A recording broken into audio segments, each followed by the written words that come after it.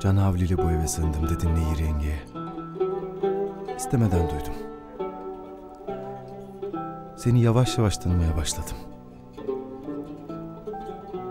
Yaşadıklarınız eğer doğruysa Doğru. Hepsi doğru.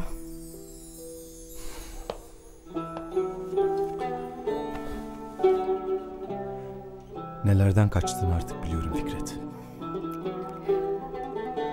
Sana bir romanı ortasından okumaya başlarsan ne kadarını anlayabilirsin demiştim. Belki de en başından anlatmalıydım sana. Dinlerim. Biz çok mutlu bir aileydik. Babam 30-32 yıl önce annesini, kız kardeşini arka arkaya kaybedince çok sevdiği İstanbul'a, doğup büyüdüğü bu şehre küsmüş, yer değiştirmek, acılarından kurtulmak için en iyi çare diye düşünüp Anadolu'ya tayinini istemiş. Çok dürüst bir insandır. Uzun memuriyet hayatında devlet hazinesinden çaldığı tek şey kitap okumak için ayırdığı zamanlardır herhalde. Ne konuşuyor bunlar? Dinlesene kapıdan. Toplanıyor mu baksana. Ya babaanne.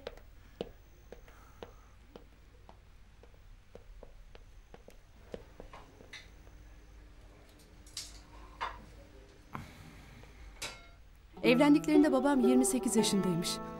Onun için aile kurmak, yeni bir devlet kurmak kadar önemli bir iş. Belki de bu yüzden hiç evlenmeyi düşünmüyormuş. Ama annemin bir akrabası babamın yakın bir arkadaşıymış. O önermiş annemle evlenmesini. Belki de hayır demeye utandığı için kabul etmiş babam da. Bir nevi görücü usulü yani bizimki gibi. Pardon. Lütfen devam et. Peş peşe dünyaya gelmişiz. Benden sonra Şevket, Leyla, Necla. 10 senelik bir dinlenme süresinden sonra babam kaymakam olduğunda Ayşe'miz doğdu. Tekne kazıntısı. Ayşem kızım gibidir. Üniversiteye hazırlanıyordum ben. Annemin tekrar hamile olduğunu öğrendik. Zor bir hamilelik geçirdi. Hep yatmak zorunda kaldı. Diğerleri küçük olduğu için ben baktım anneme. Sınavlara doğru dürüst hazırlanamadım. Ayşe doğduktan sonra da hep ben baktım. Vazgeçtim üniversiteye gitmekten. Ben de liseyi bitirir bitirmez askere gitmek zorunda kaldım. Babam boş ver dedi. Sana işin başında ihtiyacımız var. Boşuna vakit kaybetme. Askerden döndükten sonra da evlilik falan öyle kaldı. Yine kestim. Ben de senin hikayeni bilmiyorum. İyi oluyor. E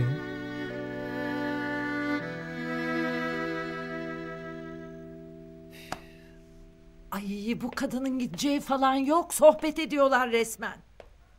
Bak bizimkinin de sesi soluğu çıkmıyor. Yo ben bunu kolundan tutup atmadan olmayacak. A büyü yapmış bu. Anladım.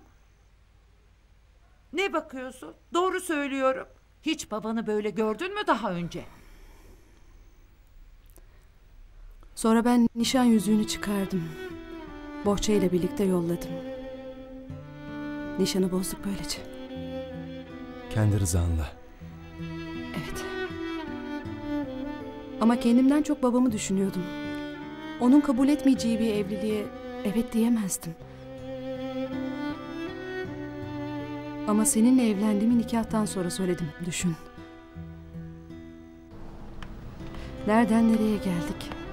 Hep babam üzülmesin istedim. Sonunda en çok ben üzdüm onu. Aslında bu konuda Ayşe hariç hepimiz birbirimizle yarıştık. Babam arka arkaya aldığı darbelere rağmen bir çınar gibi yıkılmadan duruyor yine de.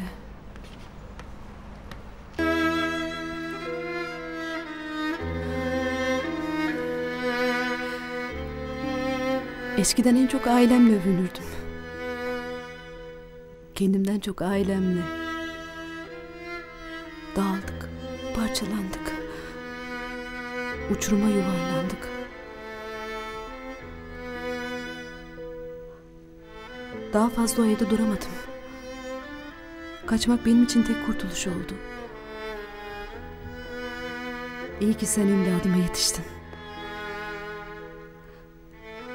Ama nasıl anlatırdım ki?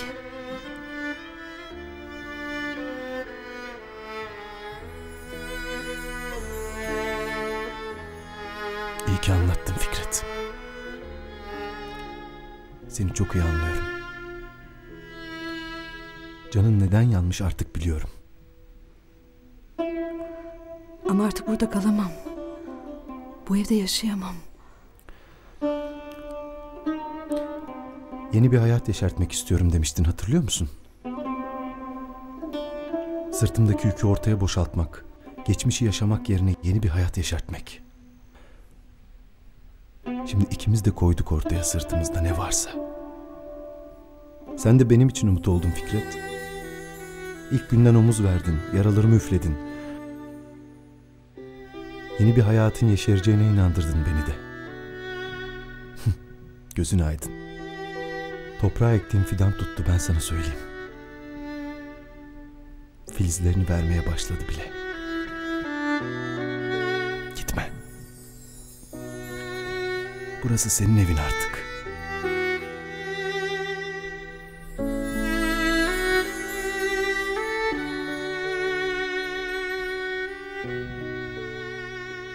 Söz ver bana. Söz mü? Söz.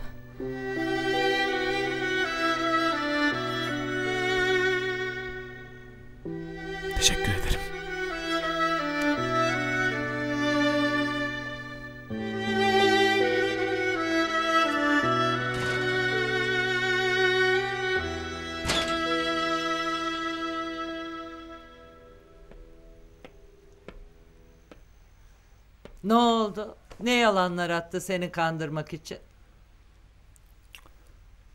Babasıyla konuşurken Fikret benim değerlimdir.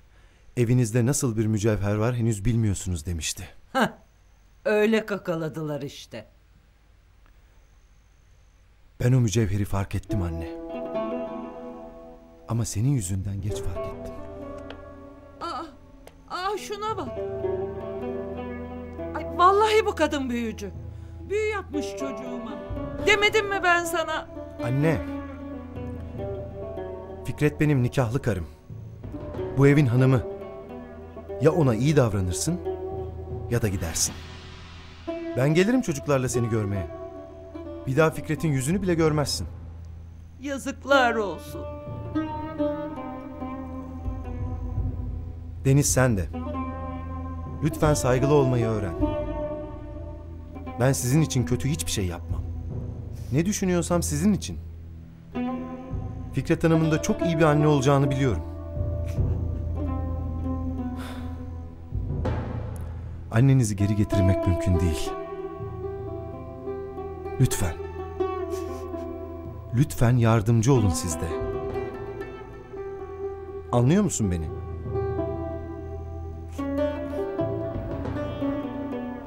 Hadi yatın artık. Ben biraz hava alacağım.